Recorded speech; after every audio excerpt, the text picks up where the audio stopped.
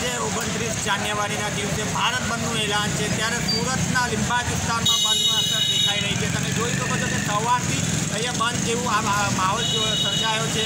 અને પબ્લિક જોડે ઘર્ષણ થવા પામ્યું હતું, હાલ પરિસ્થિતિ લીંબા વિસ્તારમાં કાબૂમાં છે. તમને દ્રશ્યોમાં બતાવવાની કોશિશ કરું છું કે પોલીસ ચુસ્તપણે બંદોબસ્ત ગોઠવી દેવામાં આવ્યો છે. એનઆરસી અને સીએના કાયદા લઈને દેશમાં વિવિધ શહેરોમાં વિરોધ ચાલી રહ્યો છે. જેને પગલે આજે બંધનું એલાન આપવામાં આવ્યું છે. જેની અસર સુરત જોવા મળી રહી છે. એનઆરસી અને સીએના વિરોધમાં ભાગળ ભાગા તળાવ ચોક બજાર ભાગળ વિસ્તારની દુકાનો બંધ રાખવામાં આવી છે.